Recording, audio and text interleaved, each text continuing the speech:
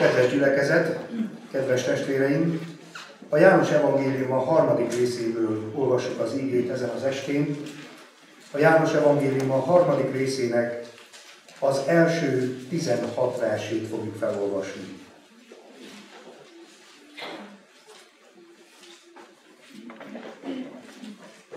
Hallgassuk és figyeljük együtt Istenünk igéjét, amely a következőképpen van megírva. Vala pedig a farizeusok közt egy ember, a neve Nikodémus, a zsidók főembere. Ez jöve Jézushoz éjjel, és mondanéki, Mester, tudjuk, hogy Istentől jöttél tanítóul, mert senki sem teheti a jeleket, amelyeket te teszel, hanem ha az Isten van vele.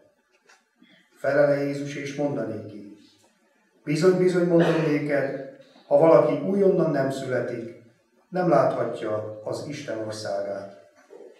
Mondanéki Nikodémus, mi módon születhetik az ember, ha vén? Vajon bemeheti az ő anyjának méhébe másodszor, és születhetik-é? Felele Jézus. Bizony, bizony mondom néked, ha valaki nem születik víztől és lélektől, nem mehet be az Isten országába. Ami testtől született, test az, és ami lélektől született, lélek az. Ne csodáld, hogy azt mondám néked, szükség néktek újonnan születnetek. A szél fú, ahová akar, és annak zúgását hallod, de nem tudod, honnan jö és hová megy, így van mindenki, aki lélektől született. Felel Nikodémus és mondanéki, mi módon lehetnek ezek? Felele Jézus és mondanéki, te Izrael tanítója vagy, és nem tudod ezeket? Bizony, bizony mondom néked, amit tudunk, azt mondjuk, és amit látunk, arról teszünk bizonyságot. És ami bizonyságtételünket el nem fogadjátok. Ha a földiekről szóltam néktek, és nem hisztek, mi módon hisztek, ha a mennyeiekről szólok néktek? És senki sem ment fel a mennybe, hanem ha az, aki a mennyből szállott alá, az embernek fia, aki a mennyben van. És amiképpen felemelte Mózes a kígyót a pusztában, akképpen kell az emberfiának felemeltetnie, hogy valaki hiszen ő benne el ne vesszen, hanem örök élete legyen. Mert úgy szerette Isten a világot, hogy az ő egyszülött fiát adta, hogy valaki hiszen ő benne el ne vesszen, hanem örök élete legyen. Amen. Tessenek helyet foglalni.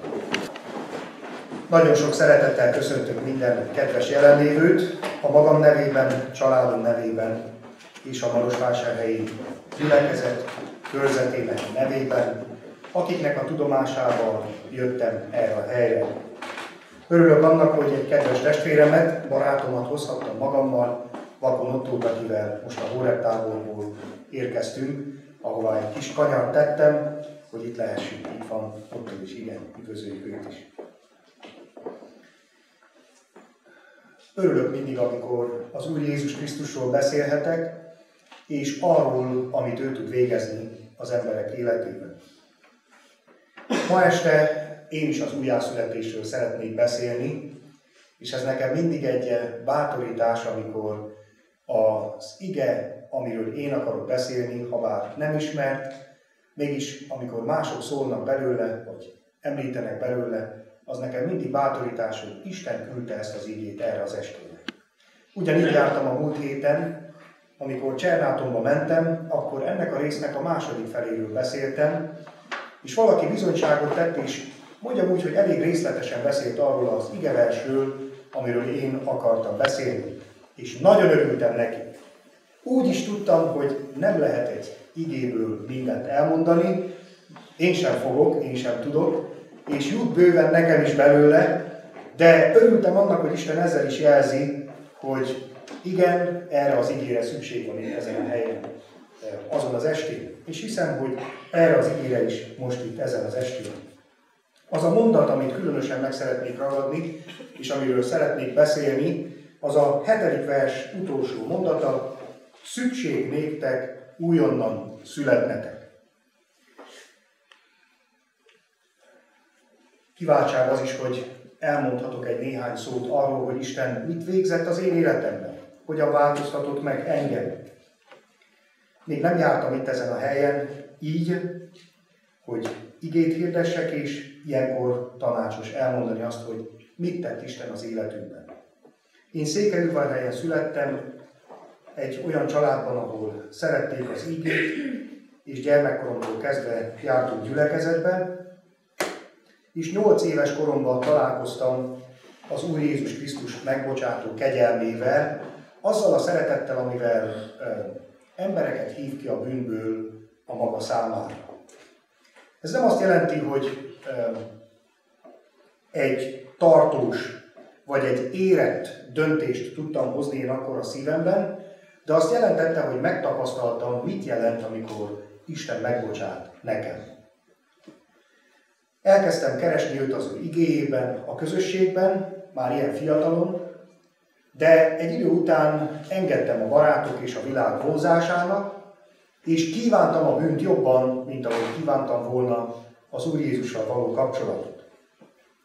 A gyülekezetben, a családban elég jó gyereknek ismertek, fiúnak ismertek, de egyre jobban romlani kezdtek a tanulmányi eredményeim, és én egyre inkább a szívem mélyén engedtem azoknak a kívánságoknak, amelyek ott voltak, és hát belekeveredtem különböző dolgokba, verekedésekbe is, és abba az irányba akartam menni, amerre a barátaim mentek. Mindazáltal Isten szent lelke munkálkodott bennem, és az, amit én megtapasztaltam, és az ismert ige, amiről tudtam, megakadályozott engem abban, hogy jól érezzem magam a többiekkel együtt ott a világban. Sose tudtam úgy felszabadulni, mint más barátok, fiatalok, mert tudtam azt, hogy nem jó az, amit teszek, és nem jó helyen vagyok.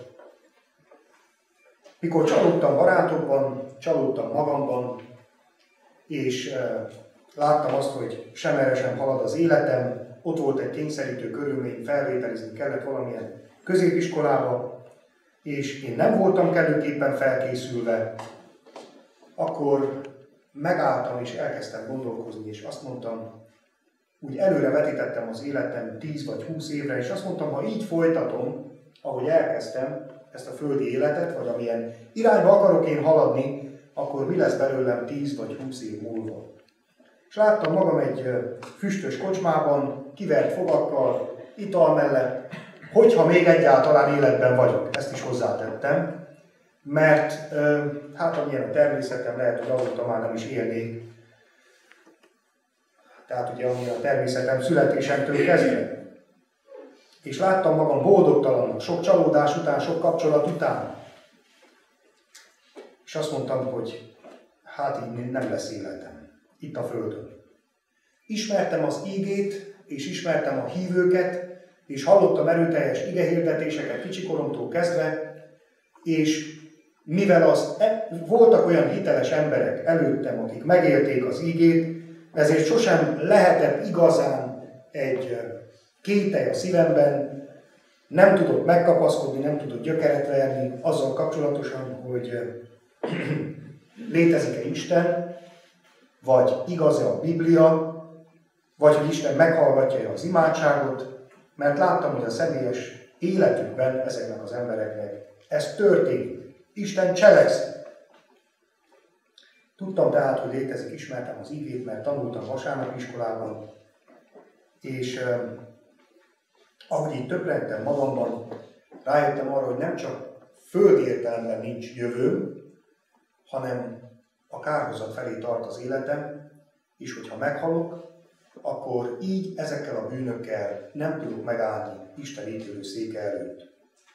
Az egyik legnagyobb bűn, ami fájt nekem, az az, hogy rájöttem, hogy Istent nem tiszteltem, ki akartam használni. Akaratlanul is. Mit értek ez alatt? Úgy használtam őt, mint ahogyan használják a kávéautomatát vagy a csoki automatát. Azt jelenti, Uram, én elmondom neked az imádságot, te add meg nekem azt, ami kell. Amit én kérek. Istennel nem lehet így bánni. Istennel nem lehet így egyezkedni. Isten nem lehet lefizetni. Isten nem lehet lekötelezni. Ő Isten, és én csak egy ember vagyok. És nem az ő akarata valósult meg az én életemben, nem azt akartam, hogy megvalósuljon, hanem azt akartam, hogy az én akaratom valósuljon meg. Nem én voltam az ő szolgája, hanem azt akartam, hogy legyen ő az én szolgám. És erre rájöttem, amikor így álltam Isten előtt, hogy hogy is bántam én az Úrral. És akkor eszembe jutott egy igevers. Jöjjetek én hozzám minnyáján, akik megfáradtatok és meg terhelve, és én megnyugvást adok nektek, megnyugosztok titeket. Ez volt az az igevers, amivel Isten szólt a lelkem mélyén hozzám, és azt mondta, Uram, pont erre van szükségem. Én magamon változtatni nem tudok, én holnap nem tudok egy más ember lenni, milyen ma voltam, de Uram, hiszem, hogy Te meg tudsz változtatni engem. Kérlek, bocsáss meg a bűneimet. És imádkoztam azért is, hogy az Úr segítsen meg a felvételiben, és azt mondtam neki, mert hát ilyen volt az én gondolkodásom, Uram, ha sikerül a felvételim, akkor az egész életemet neked adom. És utána rögtön megálltam, és azt mondtam, hát mit is mondtam én? Megint alkudozunk? Megint egyezkedünk? Hát ez nem jó még nekem se. Mert ha véletlenül nem sikerül a felvételim, akkor nagyon magam alatt leszek, és akkor nagyon szükségem lesz az Isten segítségére, meg erejére, hogy, hogy ne adjam fel, és tudjak menni tovább. Úgyhogy amikor hát sikerült a Isten kegyelméből, és jöttem hazafele délelőtt reggelibe az eredmény megnézve, tehát tudva azt, hogy mi az eredmény, akkor én igazából nem annak örventem, hogy sikerült a felvételim, hanem annak, hogy Isten meghallgatta az imádságomat, és ez azt jelentette nekem, hogy Isten engem elfogad. Én énekelve, imádkozva jöttem haza még, lehet, hogy hangosan is mondtam ezt, ki is fejeztem, nem érdekelt, hogy ki lát, nem érdekelt, hogy, hogy mit gondolnak rólam. Én örültem annak, hogy Isten engem újjá és elfogadott. És gyermekévé fogadott, és megbocsátott nekem, és magához hívott. És az én sok uh, tiszteletlen hozzáfohászkodásom után végre meghallgatta az én imádságomat, és most már ez a, ez a jele.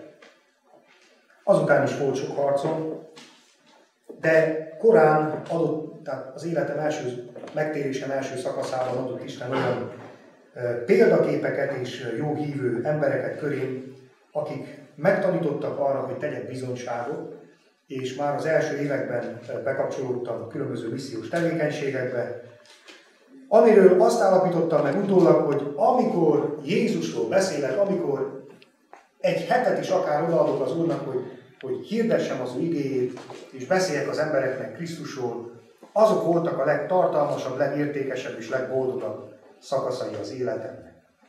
És azóta is így van ez.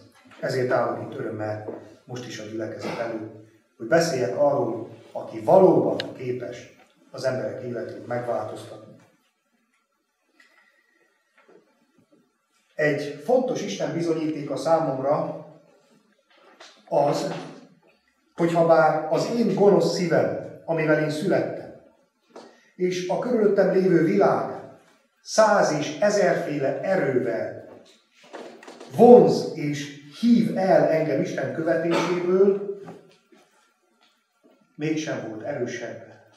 Egyetlen erősen vagy összesen, ez a sok erősen, hanem az Isten ereje képes volt megtartani engem magam mellett. Én nagyon sokszor Magamtól eltévehettem volna, és elmentem volna mellőle. De az Úr megtart. És ez a bizonyíték számomra, hogy valóban Isten beleszólt és belenyúlt az életembe. Most nem arról van szó, hogy tettem volna ezt akaratom ellenére, hanem lelkem én mindig tudtam nekem ott jó nála. De néha pillanatnyilag a bűn annyira befolyásolt és annyira behálózott, hogy akkor a bűn miatt talán akartam volna távolabb kerülni Istentől de ő nem engedett engem. És ezért én nagyon hálás vagyok. Az életem mottója sok mindent kifejez.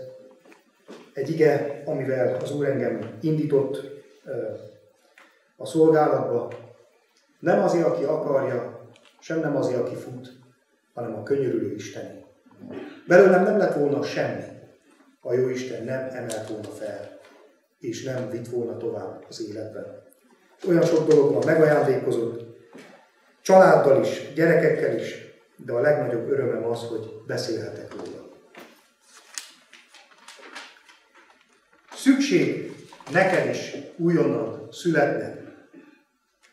Most ez a tavaszi időszak, amikor jönnek az esők és jönnek a melegek is, és zöldül a fű, és zsendül a fa, és virágzik a virág, arról beszél, hogy milyen szép az élet. És úgy érzem, hogy nekünk is nagyon időszerű pont ezért is arról beszélni, hogy szükség újjászületni. A természet is az életről beszél, és most az igénk is az életről beszél.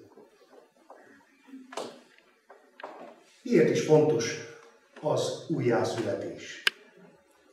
Látjuk azt, hogy az Úr Jézus Krisztus egy beszédbe elegyedik, illetve Nikodémus elegyedik az Úr Jézussal beszédbe. Ez a Nikodémus egy zsidó főember volt, a zsidó parlamentnek egy tagja, vagyis a 70 tanácsának egyik tagja, egy farizeus, egy vallásos ember, egy közismert ember, köztiszteletben álló ember, mondjam úgy, egy híres ember volt, és hogy miért jött éjszaka? Talán mert szégyelte, hogy az Úr Jézussal beszélget? Lehet. De mindenképpen kíváncsi volt erre a nagy tanítómesterre, aki csak Istentől lehetett, hiszen senki nem tudott olyan csodákat tenni és úgy tanítani, ahogy az Úr Jézus tette. És ez a kíváncsiság elhozta Jézusig, hogy beszélgessen vele. Lehet, hogy te is úgy jöttél el otthonról, hogy nem mondtad meg, hogy hová jössz, mert szégyelted. De a lényeg az, hogy itt vagy, és akarsz beszélgetni Jézussal, és Jézus akar beszélgetni veled. Lehet még nem merted felvállalni azt, hogy érdekel téged ez a téma. A baráti körben, a családi körben, vagy tágabb körben. De a fontos az, hogy itt vagy, és Jézussal állhat szóba ezen az estén. Jött Nikodémus, és nagyon szépen, nagyon illendően, és nagyon kedvesen közelített az Úr Jézushoz. Ritka volt, mert a farizeusok közül sokan nem így jöttek,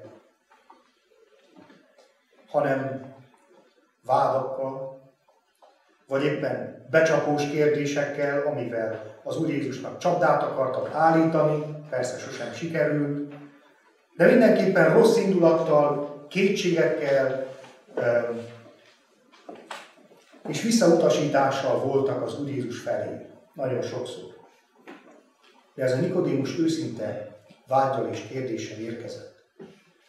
Nem mondta el a kérdését, csak egyszerűen elmondta azt, hogy mit gondol Jézusról. Hogy ő Istentől kellett, hogy jöjjön. És ez nagyon fontos, hogy valaki lássa meg, hogy Jézus Istentől jött. És gondolhatnánk, hogy az Úr Jézus hát ugyanígy folytatja. Jaj, de jó Nikodémus, hogy jöttél. Még nincsen barátom a zsidó parlamentben, végre most már lesz. Fontos ugye a befolyás a magasabb körökben. És olyan jó lenne, hogyha tényleg mi ketten jó barátok lennénk, jól megértenénk egymást, te is tanító vagy, én is tanító vagyok, és milyen jó meg lennénk mi együtt. Így mondta az Úr Jézus. Nem. Sokkoló választ adott újból az Úr Jézus Krisztus. Mint ahogy már olyan sokszor tette.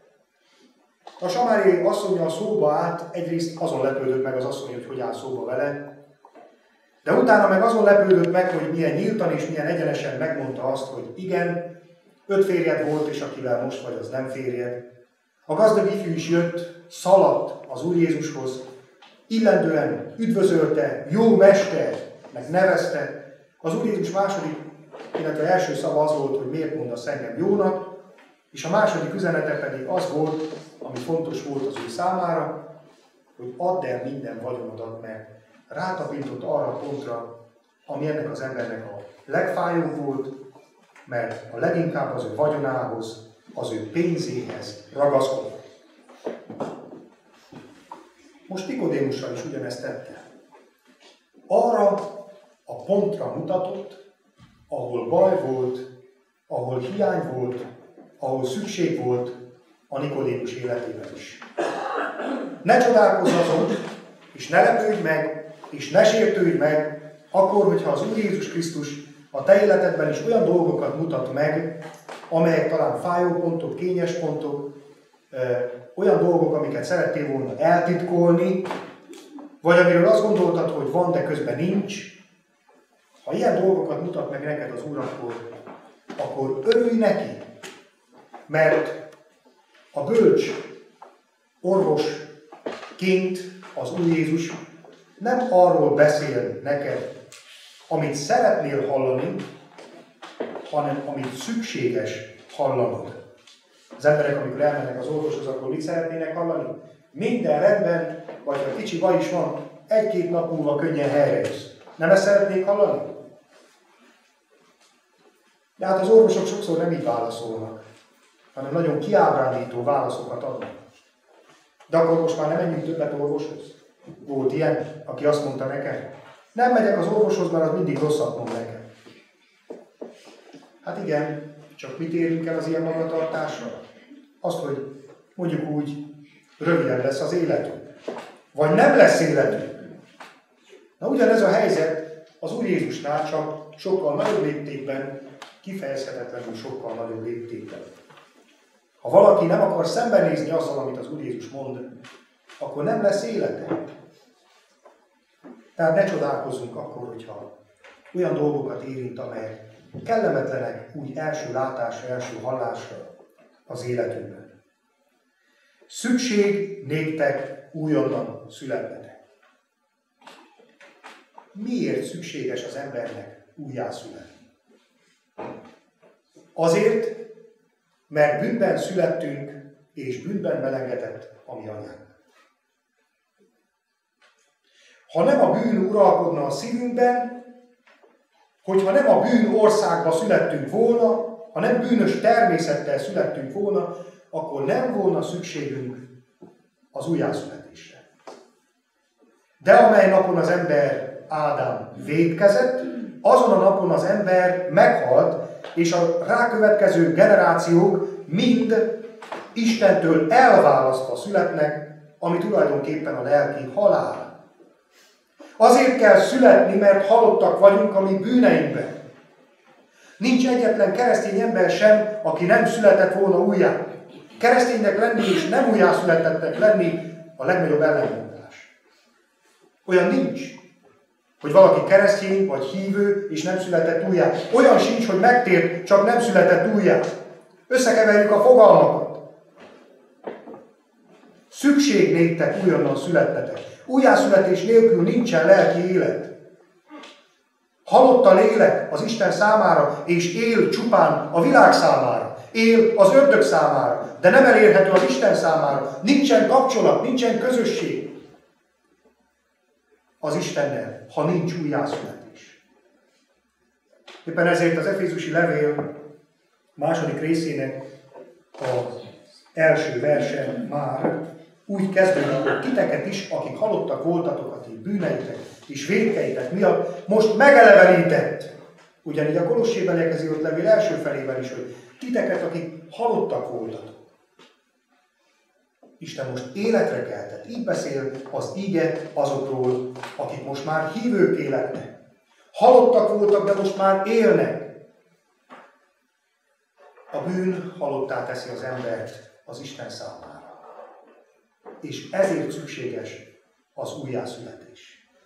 Az Ószövetségben is beszél erről már az Úr, és az Ezékiel könyvének 36. részében úgy mondja, hogy kiveszem testetekből a kőszívet, és adok nektek hús szívet.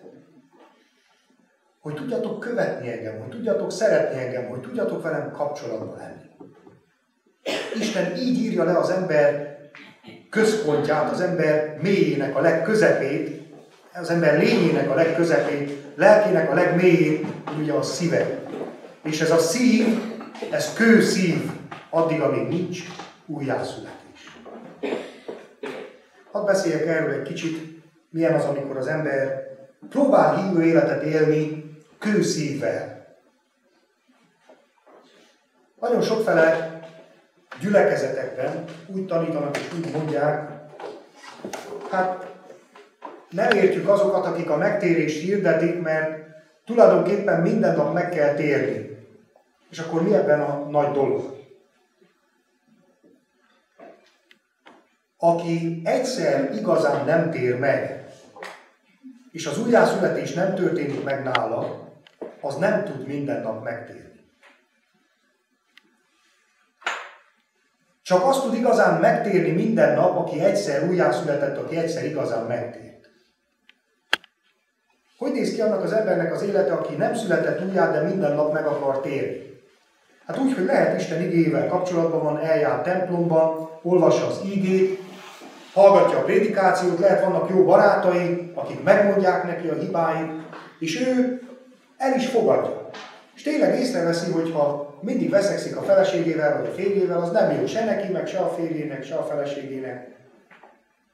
És ő tényleg hát néha megbánja ezeket a dolgokat. Vagy észreveszi azt, hogy ha, ha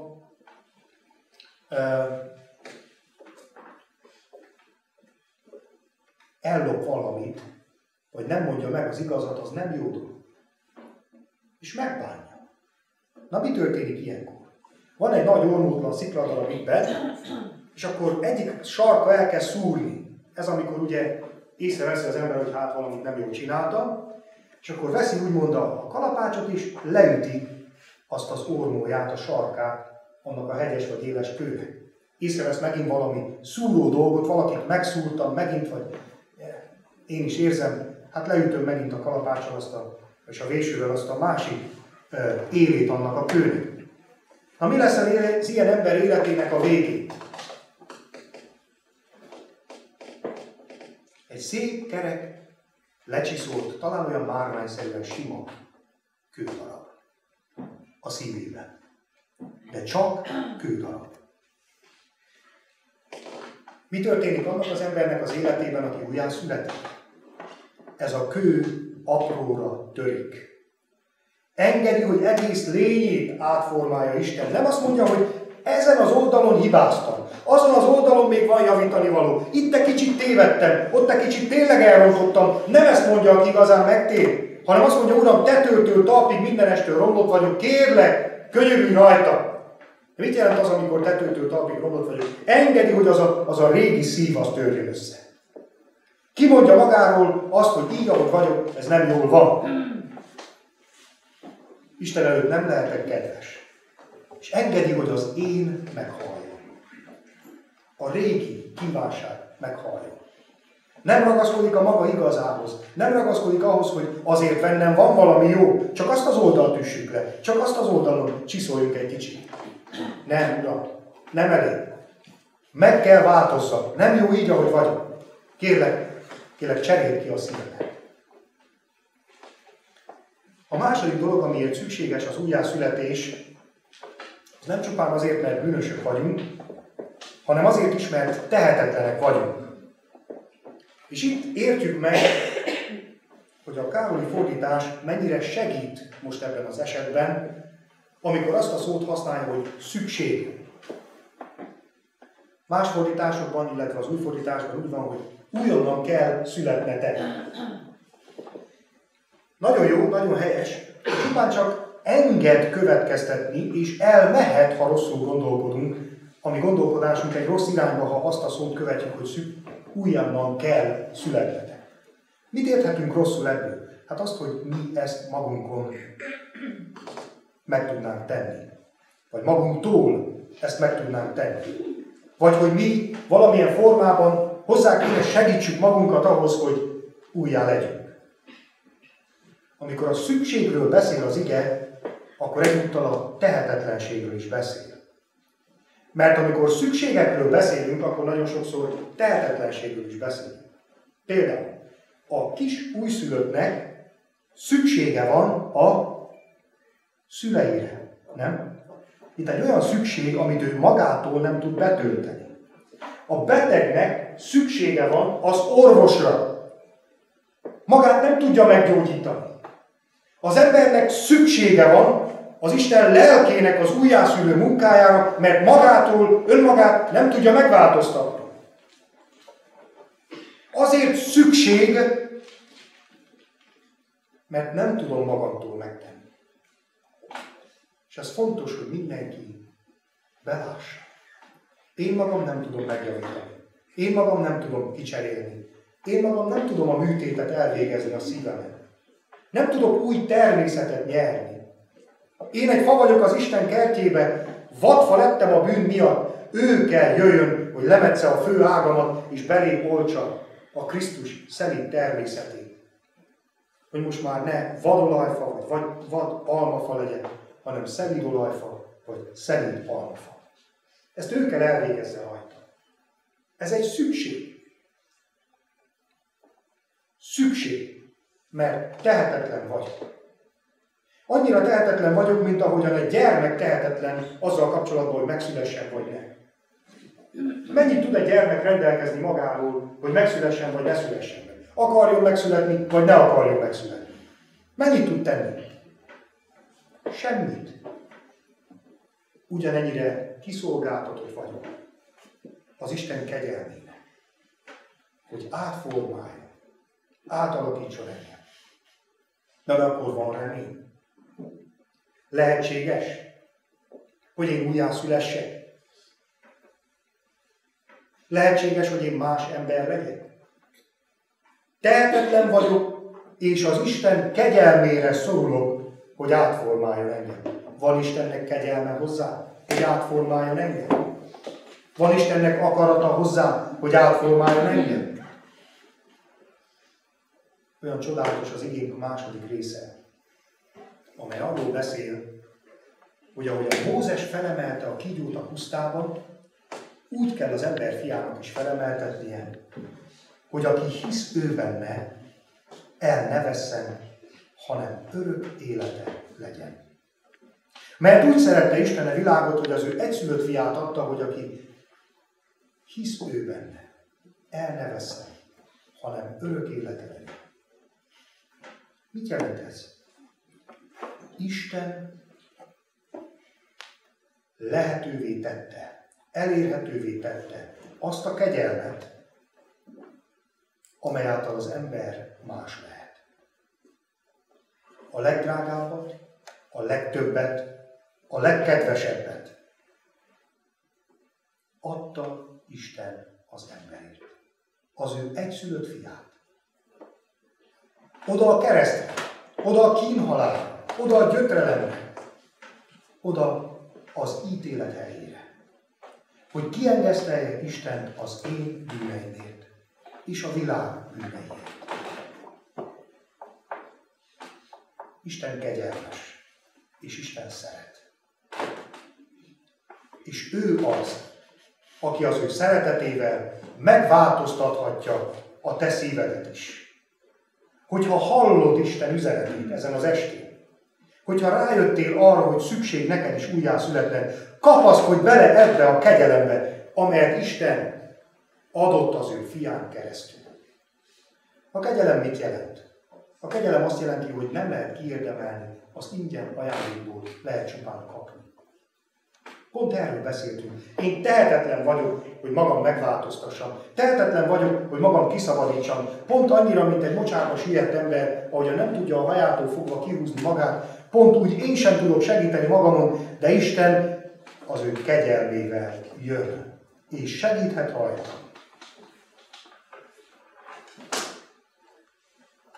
Éppen ezért lehet imádkozni és kérni. Uram, megértettem ezen az estén, hogy szükség nekem újjá lennem. Azt is megértettem, hogy én magam újjá tenni nem tudom. Kérlek, könyörülj meg rajta. Tégy te újjá engem. Ezt az Ezékiel proféta könyvének 18. részében a következőképpen olvassuk, mint felszólítás, hogy akik hallják, azok hallják meg, és imádkozzanak így. Vessétek el magatoktól minden védkeiteket, melyekkel védkeztetek, és szerezetek magatoknak új szívet és új lelket. Miért halnátok meg, ó Izrael háza? Még egyszer olvasom. Vessétek el magatoktól minden védkeiteket, melyekkel védkeztetek, és szerezzetek magatoknak új szívet és új lelket, miért halnátok meg, ó Izrael háza.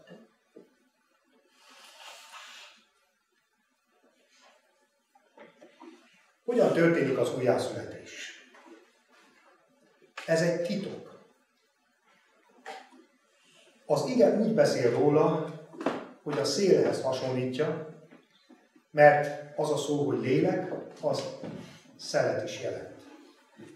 És azt mondja, úgy van ez, mint ahogyan nem tudjuk a szélnek a pontos indulási helyét sem, és nem tudjuk a szélnek a pontos érkezési helyét sem, és azt sem, hogy pontosan mikor indul és pontosan mikor áll meg, nem tudjuk. Pont így van mindenki, aki lélektől született. De ahogyan a szélnek a mozgását és munkáját észleljük, pontosan úgy azt is észleljük, amikor valaki újjászületett. Nyomon követni nem tudjuk, de a hatását, azt igen, hogy megtörtént-e, vagy nem történt meg valakinek az életében. Azt tudjuk az Isten igéje alapján, hogy víztől és lélektől kell az embernek újjá születnie. Mert ami testtől született, test az, ami lélektől született, lélek az. Semmiképpen nem lehet arra gondolni, amit Nikodémus gondolt, hogy hát az ember még egyszer fizikailag megszülessen. Nem, szó sem lehet Ez fizikai lehetetlenség, de ha még valamilyen formában lehetséges volna, akkor is teljesen értelmetlen volna, mert a test csak testet tud szülni, itt pedig lelki születésre van szükség. Semmiképpen nem beszél az Úr Jézus ezen a helyen reinkarnációról sem. Nem újra születésről van szó, hanem újjászületésről. Bárhányszor születne az ember, és embernek születne is, persze a reinkarnáció téves tanítása szerint, ha bűn alatt születne, ugyanazzal a szükséggel születne erre a világra. Szükség néktek ugyanaz születne. Itt a lélektől való születésről van szó. A víztől és lélektől való születésről van szó. Mit jelent a víz? A víz ebben az esetben, mint más esetben is, Isten ígéjét jelenti. Mert a szó és a lélek az mindig együtt dolgozik. Az ige és a lélek az mindig együtt dolgozik, mert a Biblia, a Szentírás, az a Szent Léleknek a szava. És azt is olvasjuk, hogy a lélek újjászülő és megújító fürdőjén mennek át azok, akik újjászületnek, de azt is olvassuk a Péter apostol első levelének első részében, mint akik újonnan születtetek, nem romlandó magból, de romolhatatlanból, Istennek igéje által, amely él és megmarad örökké. Tehát újonnan születtetek, nem romlandó magból, hanem romolhatatlanból, Istennek igéje által, amely él és megmarad örökké.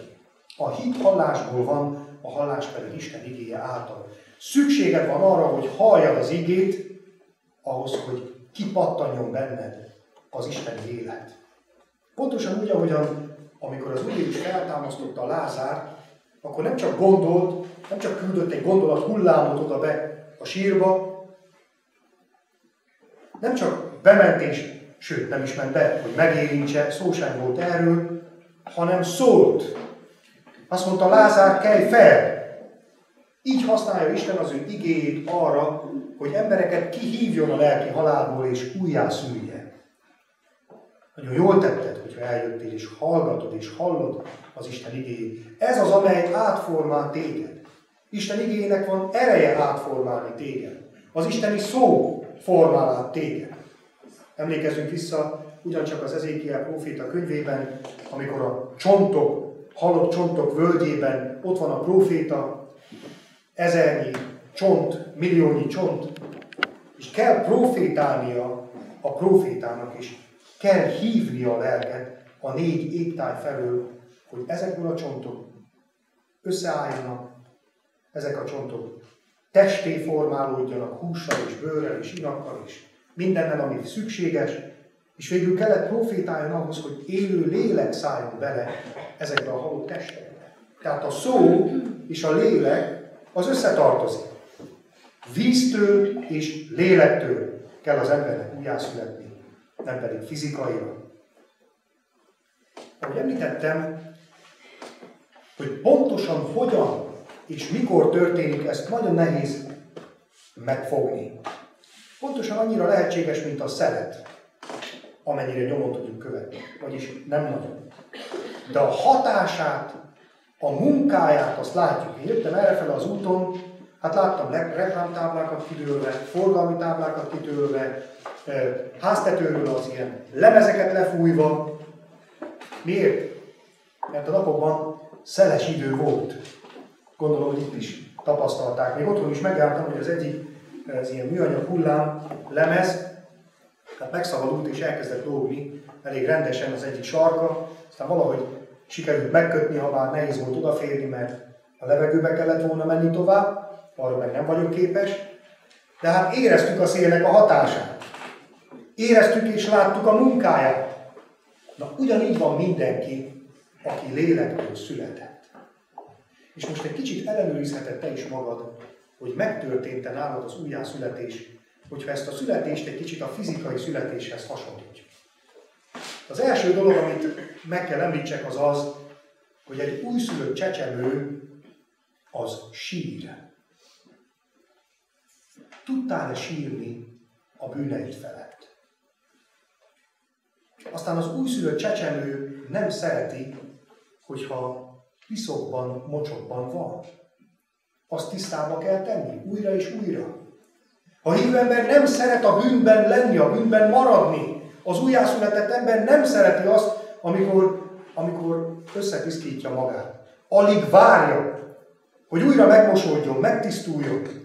Ez a folyamatos megtérés, amiről korábban beszéltem, ez történik nála, mert nem szeret piszokban lenni. Megváltozott a természete. A disznó szeret a sárban lenni, a macska egyáltalán nem szeret a sárba lépni. Más a természetük. Pont így megváltozik az újjászületett embernek is a természete. Míg azelőtt szerettél a bűnben lenni, most nem szeretsz a bűnben lenni, alig várod, hogy megmosulj, ha véletlenül összepiszkódtál, ha valami hozzád kenődött, vagy beleléptél a sárba, alig várod, hogy az Úr Jézus újra megmossa a te lábad, vagy ruhád. Másik dolog, hogy az újszülött csecsemő az nagyon éhes. Sír, hogy adjanak enni. Éhezed-e? Szomjúhozod-e az ígét? Vágysz-e imádságban összekapcsolódni a te Isteneddel, a te életforrásoddal, erőforrásoddal? Szereted-e a szentek közösségét, ahol szól az Úr, mások imája által, az énekek által, az ige által? Szereted-e a mennyei mannát, az Isten adta ételt? Van-e vágyad az ige olvasásra? Kívánod-e? Vagy csak a földi étel jut eszedbe ilyenkor? Ú, de éhes vagyok, nem vacsoráztam, nem is ebédeltem, ki tudja, nem is reggeliztél. Nem erről van szó. Amikor Isten igét hallod, elfelejted, minden külső dolog kizárul, mert szívod magadba az Isteni szót, mint a gyerek, ahogyan szívja magába a tejet. Mint a hamisítatlan tejet, úgy kívánjátok az Isten igéjét. Illetve kívánják azok, akik újjászülettek. A kis csecsemőnek szüksége van védelemre, szülőre.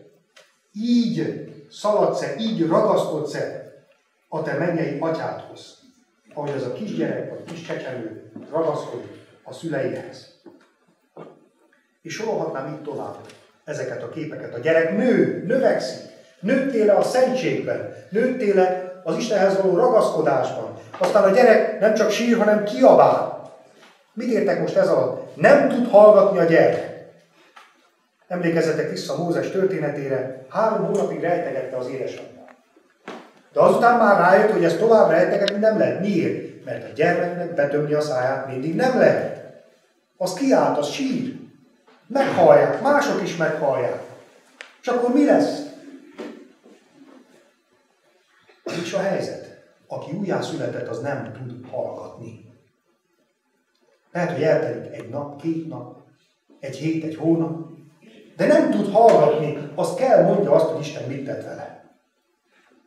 Az kell kiáltsa a világba, hogy itt vagyok, megszülettem. Tettél-e bizonyságot? Beszélsz-e arról, aki mindened neked? Ilyen és ehhez hasonlók azok a jelek, amelyek az isteni szélnek, az isteni szél átformáló erejének a jelzései. Megvan ez az életedben. Szükség újjászületni, mert bűnben születtünk és halottak vagyunk a bűnben. Szükség újjászületni, ez egy nagy szükség, mert magunkon nem tudunk segíteni. Tehát szükség, hogy kívülről jöjjön és segítsen rajtunk valaki. És végül szükség újjászületni, mert aki nem születik újjá, az nem hogy bemenjen, hanem meg sem láthatja az Isten országát. Hogyha nem érted azt, amiről beszélünk itt, és nem is érdekel, akkor nagyon félje. És nagyon rettek. Tudod miért? Azért, mert még csak nem is látod az Isten országát. Ez azt jelenti, hogy még nem születtél újjá. Nincs egyáltalán fogalmad arról, amiről beszélünk, pont azért, mert nem születtél újjá. Akármilyen kicsi legyél, fiú vagy lány, felnőtt vagy idős, nő vagy férfi, ha nem érdekelnek ezek a dolgok, az azért van, mert nem születtél újjá, és a pokol, a kározat felé halad az életed. A legszörnyűbb helyre halad az életed. Az Isten ítéletének helyére halad az életed. A magány, a legnagyobb fájdalom, a legnagyobb frusztráltság, a legnagyobb fáradtság, a legnagyobb kiüresedés helyére halad az élet. Ugyanis van az Isten országa, és vannak azok, akik ki lesznek rekesztve az Isten országából a külső sötétségre. Ott lesz sírás és fogatnak csikolgatása. Az Isten ítéletének a helye, az Isten átkának a helye. Gondolj arra, hogy milyen szörnyűség történt veled az, ebben az életben, ami a legrosszabb volt neked és azt nyugodtan sokszorozd meg egy millióval, és azt is még egy millióval hatványozd. És körülbelül képzeld el, hogy olyan rossz lesz a kárhozat helyén. És ez nem ijesztgetés, én nem tudom eléggé kifejezni azt, hogy milyen lesz ott. Azt tudom, hogy olyan rettenetes lesz, hogy felfogni sem tudjuk.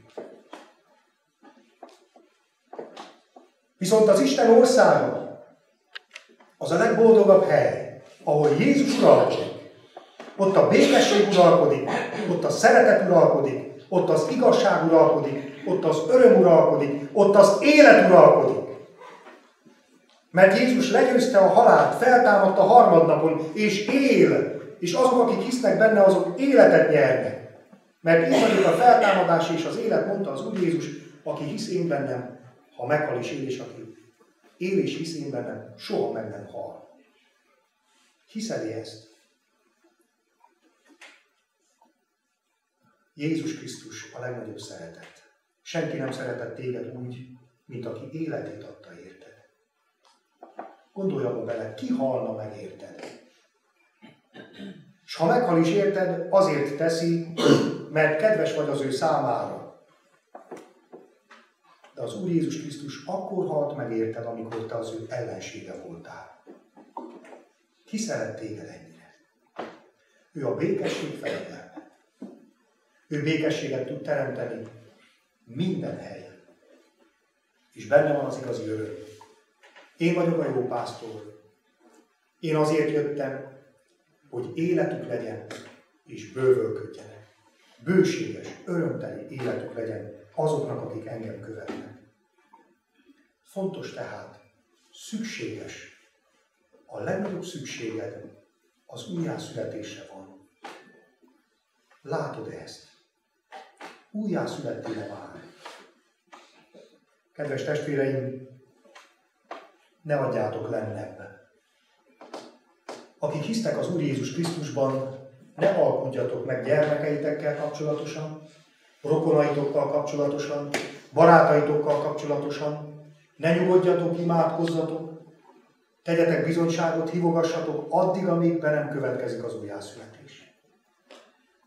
Jézus Krisztus nem azt kérdezte, hogy bemerítkeztél-e, megkereszteltek-e, vallásos családba születtél-e, gyülekezetbe jársz-e, Bibliát olvasol-e, próbálsz-e jó lenni, vagy mennyi jót tettél az életedben, nem ezt kérdezi. Biztos, hogy Nikodémus egy jó ember volt azelőtt is, én meg vagyok győződve. De az Úr Jézus nem ezt kérdezte. Hány parancsolatot tartottál be, mint a gazdag ifjú, amelyik azt mondta, hogy ő tudomása szerint mind betartotta a parancsolatokat. Jézus Krisztus nem ezt kérdezi. A kérdés az lesz, születtél-e újjá? Van-e új életed? Az Isten lelke benned lakik-e? Átformálta-e a te énedet, a te lényedet? Az Isten számára elérhetővé tette, engedelmes lettél ahogy hallottuk a bizonyságtételben. Az Isten akaratát teszed Ez a kérdés.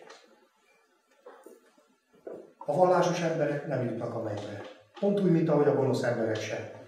A jó emberek sem jutnak a mennybe, pont úgy, mint a legnagyobb bűnözők, akik nem születtek újjá. Szükség néktek újonnan születnetek, mert másképp nem mertek be az Isten országába.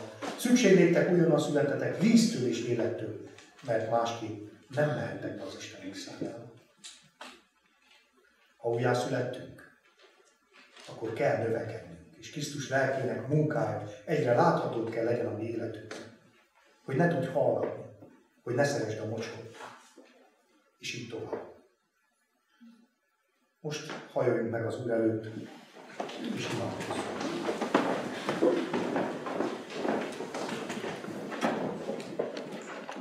Gyülekezetből is egy-két szemét kérek hangosan imádkozni, akivel most imádság fogalmazódik meg, akár hála, akár kérés legyen az, el lehet mondani, Uram, én most jöttem rá, hogy nem vagyok újjászületve, kérlek, könyörülj rajtam, kegyelmedből, tégy újjá engem. Köszönöm, hogy az Úr Jézus azért halt meg, hogy én elnek áldozza. Uram Istenem, könyörülj meg rajta. Vagy éppen valaki azt szeretné mondani, Uram, elkezdted bennem a jó munkát, de meglankadtam, megfáradtam. Kérlek, lelkedet ne vond meg tőlem, bocsáss meg az én bűneimet, hogy újra veled járjak. Vagy éppen azt lehet megköszönni, hogy Uram, nem tudtam magamon segíteni, de Te jöttél és átformáltál engem. Kinek milyen imádság van a szívében? Egy-két személyt kérek, most hangosan is vezessen, de mindannyian magunkban hadd fohászkodjunk. Dicsőítlek és magasztalak, drága Úr Jézus Krisztus, hogy újjászületési munkát csak egyedül te neked van rá hatalma elvégezni az emberekben. Hálás vagyok, hogy volt az én életemben egy nap, mikor elvégezted, újjászültél, összetörted az én szívemet, és egy új szívet adtál nékem, megismerhettelek, és királyom lehet már húsz éve. Látod, hogy amikor meglankad az én életem, újítsd meg, hogy még közelebb kerülhessek hozzá. Amen. Amen.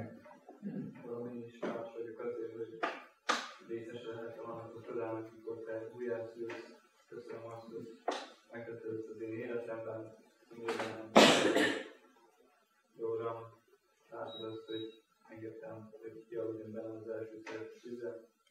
Nagyon sok dolog elmaradt az életemben, amelyek, melyeket te akkor belehelyeztél az életemben. Köszönöm, hogy rámutattál erre a dologra, és szeretném kérni, hogy te erőzet, a te kegyelmet, Uram, hogy rá is jutod, ahonnan kiestem, és azt, hogy ezeket ugyanúgy, olyan tűzzel, olyan lélekkel, olyan erővel kérlek adott a lelket, Uram, hogy elmondva, Amen.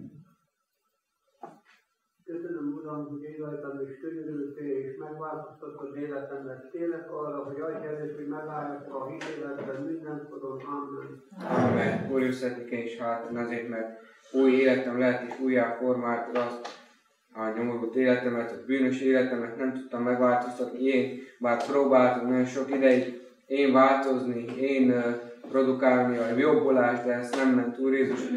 De köszönöm azt, hogy te levoltál és újjászültél, kegyelmedből, te lelked által, víztől és lélektől én is születettem, és szeretnék azért imádkozni, hogy ő sosem meg ne lankadjak, hanem mindig tudok növekedni, mindig tudjam azt elbeszélni, hogy te tettél velem. Most uh, szeretnék imádkozni azokért, akiknek nem történik a szívükbe, hogy te munkálkodj az ő szívükbe is, és uh, szűd őket is újjá. Amen. Amen.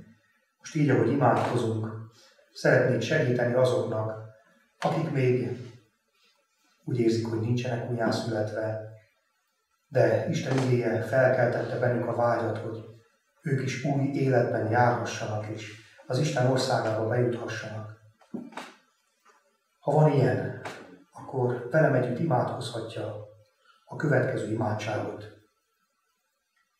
Úr Jézus, köszönöm, hogy nekem is mondtad, hogy szükség újjászülessek.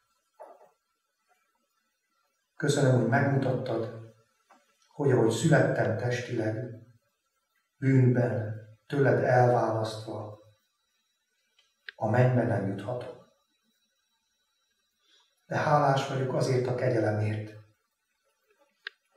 amit a te haláloddal megszereztél, hogy bűneimet megbocsáthast, életemet újjáformálhast. Úr Jézus, én a halálba adom a régit. Bánom a nélküle töltött időt, éveket. És megtagadom magam az én kívánságaim, hogy újat hozhass nekem. Kérlek, cseréld ki a szívemet, szűrj újjá engem a te nagy szeretetedért, a te drága igéd és lelked által, hogy örökre veled lehessek a te országodban. Ámen. Amen. Ha van ilyen valaki, így, ahogy az Úr előtt állunk, meghajolva, aki őszintén elmondta ezt az imádságot, mert szeretné, hogy új élete legyen. Ha van olyan valaki, aki kéri az Istentől az új életet, az újjászületés csodáját, kérem, hogy jelezze egy kézfelemeléssel, hadd imádkozhassunk érte. Igen, igen.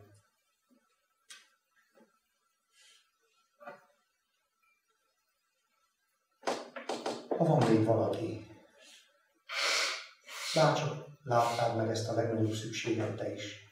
Szükség nektek újonnan születnetek. Nem én mondtam, az Úr Jézus mondta, imár három ízben is, csak e rövid igén belül. Szükség néktek újonnan születnetek. Ha van még valaki ilyen, kérem, lehetőség van még, emelje fel a kezét. Gyerekek közül, fiatalabbak közül, vagy idősebbek közül, bárki légy, férfi vagy nő.